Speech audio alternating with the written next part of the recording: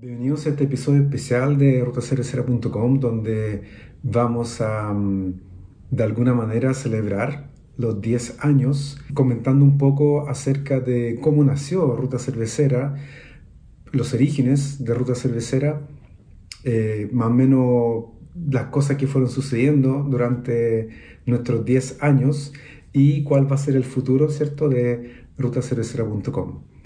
Pero antes, entonces, bueno, me saqué los lentes porque como este es un episodio especial y, se podría decir que es como un poquito más serio quizás que, otros videos, vamos a partir entonces contando un poco acerca de, los orígenes de rutacervecera.com. Y estos se remontan a cuando por ahí como en, septiembre quizás del año 2008, em, fue contactado a través de la producción por el Pulga para eh, ser eh, bajista en su banda que él, eh, que él armó para celebrar su cumpleaños. No recuerdo qué número de cumpleaños, pero sí recuerdo que fue una tocata que hicimos el año 2008 en diciembre. Así que para darle más emoción a este, a este video, veamos un pequeño extracto de una de las canciones que tocamos en esa oportunidad.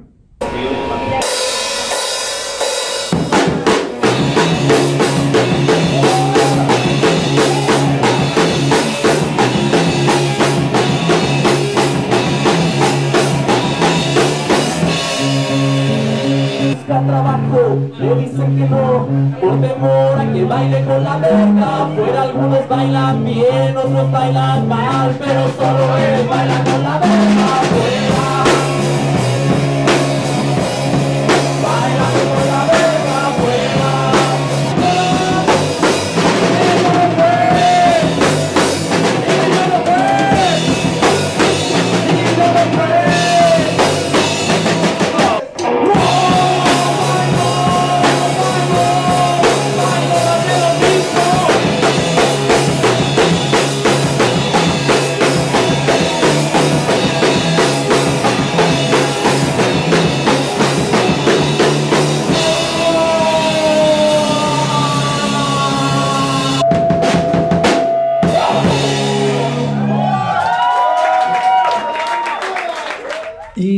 Pasó el tiempo, eh, seguimos ahí, nos hicimos amigos con el Pulga y luego consiguió que también, eh, viendo yo por ahí, eh, vi, unos videos, varios videos de unos, parece que eran como canadienses que estaban, que viven o vivían, no sé, en Japón.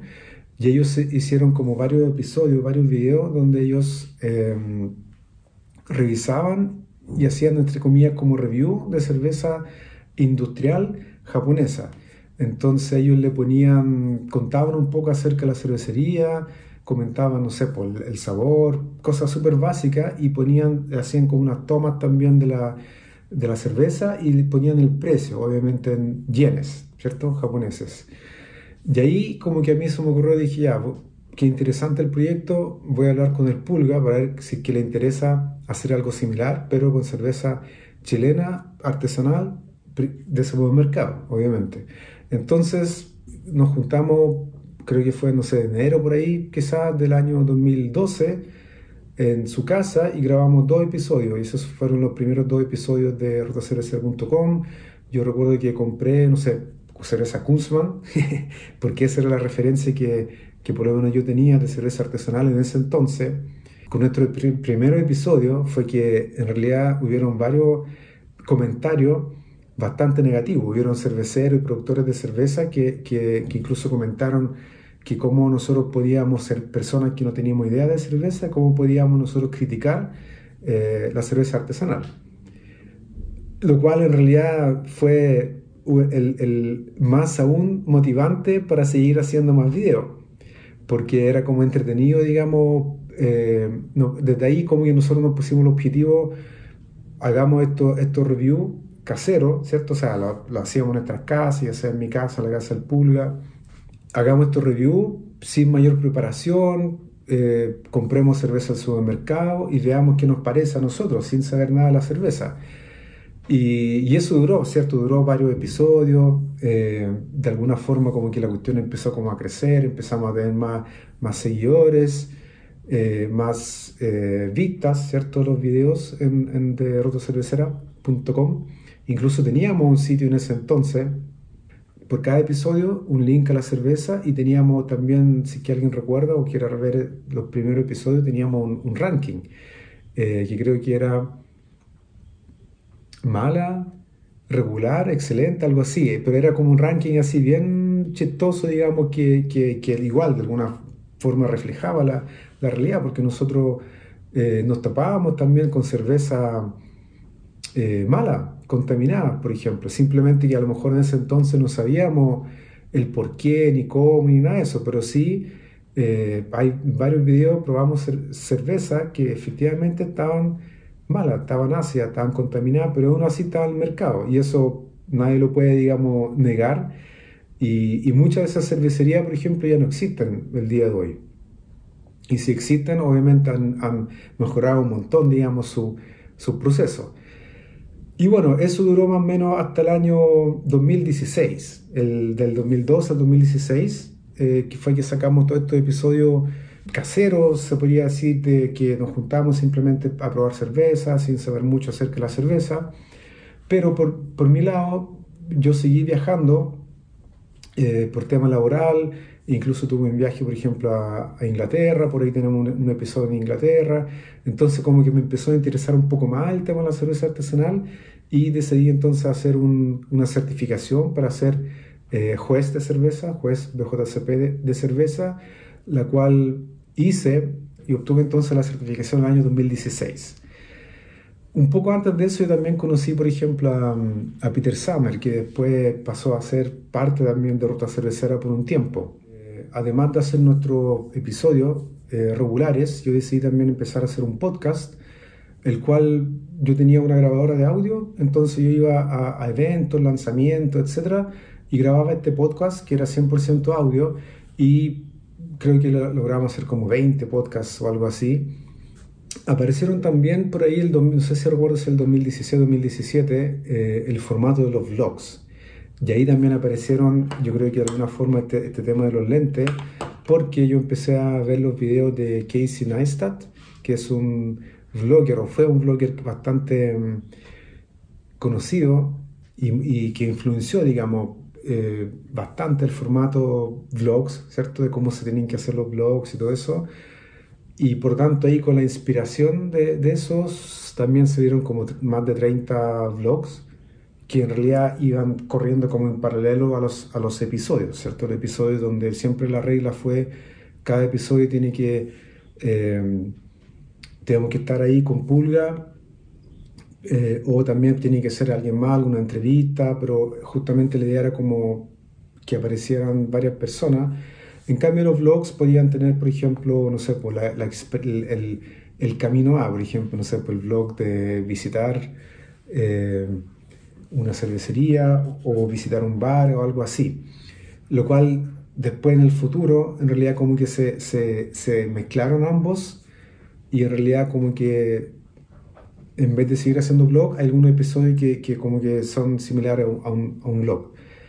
Que todo esto también, eh, después del, del, del, de los vlogs, el podcast, de los episodios, eh, apareció otro tipo de contenido que, que también aquí incluso no podría hacer como una especie como de línea de tiempo, como fueron como apareciendo diferentes tipos de, de, contenido em, en paralelo incluso, y, y, uno de esos, por ejemplo, fue el tipo de contenido, el, el cómo, como por ejemplo cómo funciona la competencia de cerveza, o por ejemplo cómo organizar una cata casera de cerveza, o como por ejemplo coleccionar tapas de cerveza, que dicho sea de paso es uno de los videos más reproducidos hasta el día de hoy en, el canal. Em, cómo reconocer un bar cervecero, que, que, también de alguna forma ahí quizá eh, tuvo algunos comentarios ahí. Em, y todo ese tipo de videos que, que en realidad veían como el tema de la cerveza que son un poquito más, o sea, se salían un poco del, del, del típico review o cubrir eventos, ¿cierto? y fueron hechos también pensando en, en, ser útiles, eh, o sea, que ese contenido eh, fuera súper vigente, incluso, por ejemplo, no sé, pues en cinco años más, o no sé, ¿por qué no en diez años más? O sea, un contenido que es como, como organizar un bar cervecero. Esos son consejos súper prácticos que van a ser válidos por mucho tiempo más. Entonces, bueno, con todo este contenido eh, llegamos hasta la pandemia y, y, ahí, bueno, muchas cosas cambiaron. Eh, hasta ese entonces, por ejemplo, podríamos incluso decir que se usaba harto, harto Facebook. Nosotros mismos teníamos, cada vez que sacábamos videos, sacábamos una publicación en Facebook, de vez en cuando compartíamos links, había harto movimiento en Facebook.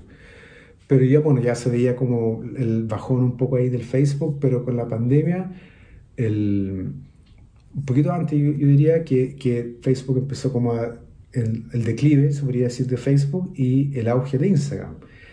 Lo cual está obviamente controlado por, por Facebook porque pertenecen ¿cierto? a la misma empresa. Eh, ya vendrá el video donde vamos a analizar quizá un poco ahí las redes sociales, todo el cuento. Pero lo que ocurrió ahí también eh, aceleramos la pandemia en que aparecieron durante la pandemia, ¿cierto? Muchos live, muchos Instagram live. Y cambió un poco también la forma de, de, consumir contenido. Ya, por ejemplo, el contenido que, que nosotros eh, sacábamos aquí en rotacervecera.com, quizás las personas entre ver un video en YouTube, quizás, no sé, pues 10 minutos, 15 minutos, preferían, no sé, pues ya sea conectarse por un rato en Instagram Live y después conectarse a otro, porque habían en un momento en pandemia muchos en paralelo, y, mm, o ver, no sé, por, eh, un video cortito, una publicación, un reel, ¿cierto? Cosas como súper así cortitas que, que, mm, que obviamente cambian la forma de consumir el contenido y por ejemplo, en la actualidad también está el TikTok, que es mucho más eh, corto eh, y la gente puede estar en TikTok mucho rato viendo contenido, pero contenido distinto, ciertos videos distintos. Em, y eso cambió un poco el, el, el, panorama y, y, el famoso algoritmo de, de, de YouTube empezó también a, a, cambiar un poco. Entonces, por ejemplo, antes nosotros cuando subíamos un video, eh, fácilmente uno podía llegar a, muchas reproducciones porque YouTube, el algoritmo era como, ya, mostrémonos más el video a todas las personas, obviamente a todos los seguidores y, a todas las personas nuevas, pero ahora como que cambió un poco el, el, algoritmo, entonces, y eso se ve reflejado, por ejemplo, en las reproducciones que, que tenemos en, los videos nuevos de, en YouTube.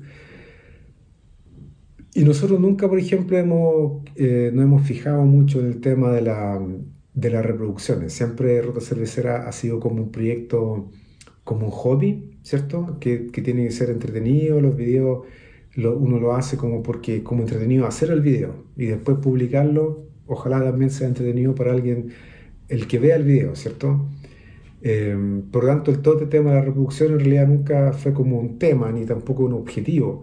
Y yo creo que ese es el motivo también de por qué nosotros como canal hemos durado tanto tiempo, ya cumplimos 10 años, porque eh, de alguna forma es bien difícil, entre comillas, como triunfar en YouTube, que a lo mejor hay gente que, que, que, que porque hemos visto proyectos que han durado, no sé, por unos pocos videos, o sea, otros canales cerveceros, por ejemplo, eh, de Chile en YouTube, duran, por, un, duran unos pocos videos y después desaparecen, porque claro, eh, no van a lograr resultados fenomenales justamente por el famoso algoritmo de YouTube. Y cada vez va a ser más difícil que eso ocurra. Pero como nosotros no tenemos objetivo, entonces podemos seguir subiendo videos y, y, todo eso. O sea, el objetivo para nosotros es como hacer el video y después compartirlo. Así que bueno, durante la pandemia aparecieron estos videos de BJCP, en parte también porque como no podíamos quizá participar, no sé, pues, en cata, o aunque igual, igual se hicieron competencia cervecera en pandemia, sería interesante quizás comentar después esa experiencia como algo histórico, porque no sé si se vuelve a repetir esa modalidad. Eh, apareció este otro tipo de contenido también de los estilos BJCP, eh, en parte porque como interesante igual hacer esa comparación. Y aparecieron con más eh, frecuencia este tema de los reviews y también aparecieron los unboxing, los unboxing de cerveceros que también por ahí yo vi un, par de videos en otros canales extranjeros y me parecieron bastante entretenidos los, los, unboxing porque es como ver un alguien eh, eh, que recibe un regalo y empieza como a sacar su, las cervezas de ahí. Así que esos son todos los tipos de contenido que, que hemos tenido aquí en el canal. Episodios, eh, vlogs, em, reviews de cerveza en los estilos BJCP, live también que hicimos muchos live. Curiosamente hemos vuelto a hacer live en invierno, no sé, hay, hay algo ahí De hecho, ya hay episodios en el backlog. Siempre tenemos aquí en Ruta Cervecera un backlog de videos, es decir, una, o sea, videos listos para ser eh, editados y, publicados. Eh, por algún motivo, como que nos, no, nos falta el, contenido, y van a ver más de eso, muy probablemente. También van a haber más, más videos tipo review, porque ya hay un, también un backlog de muchos reviews, aunque hemos publicado muchos, pero hay muchos más. Todos todo esos unboxing que hubieron, ¿cierto? Eh, había mucha cerveza ahí, entonces, y muchas de esas cervezas se hicieron review y ahí están esos videos que, que están listos para ser publicados también. Incluso hay videos de, que tienen quizá un, un año, reviews que, de hace un año y que por algún motivo no se publicaron.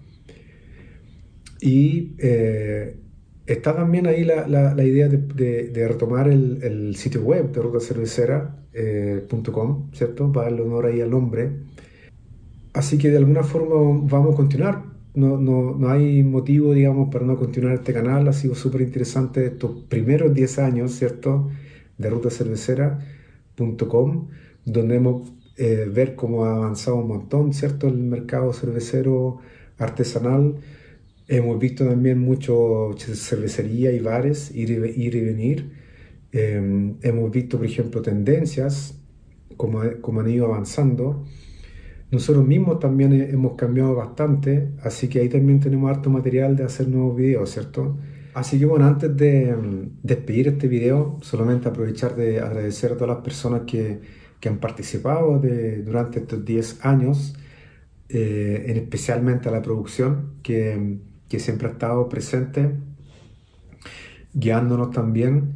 Y, bueno, a todas las personas que han participado de los concursos, a todas las personas que hemos entrevistado, eh, todos los lugares y bares que hemos visitado, que nos han dejado, digamos, em, filmar, ¿cierto? Aunque hay, por ahí también hay, hay historias de, de lugares, muy pocas veces ha, sucedido donde, por ejemplo, alguien no ha querido ser, no se puede entrevistado, o por ejemplo, algún bar que no ha querido...